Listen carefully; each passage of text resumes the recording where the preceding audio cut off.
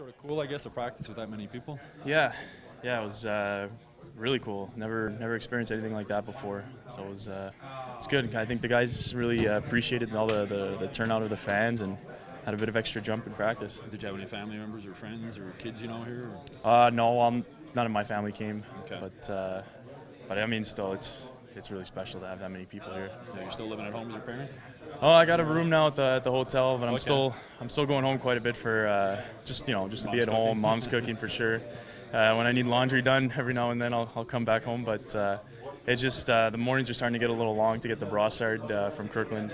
Um, but uh, yeah, after practices and stuff like that, I still head home. Are you staying at the Crystal like uh, the other guys? Or? Yeah, that's where uh, the team uh, puts us up. It's a pretty nice spot to live. Yeah, I can't complain with that, you know. And then for game days, it's uh, it's a nice walk over to the ring, so it's not bad at all. Are you finding yourself getting recognized a lot now around Montreal? Uh, it's it's happened a couple times here and there, which is I think expected with the you know obviously in this city.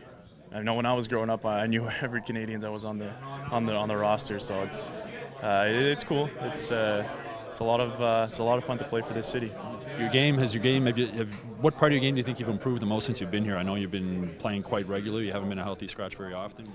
Yeah, I just uh, for, for me, I, I just want to, you know, play my game. Really, I don't want to change. I don't want to have one outstanding game and then you know an average game the next. I want to make sure I'm consistent with my performances and consistent in the way I play, and that's moving the puck, making sure I'm hitting my forwards with good outlet passes. And if I'm doing that, then I'm playing my best. That win the other night is a big boost for this team. I think you needed it as a morale booster. For sure, for sure. And I think uh, it had been coming because the way we played in Colorado, uh, I think we, we deserved better there.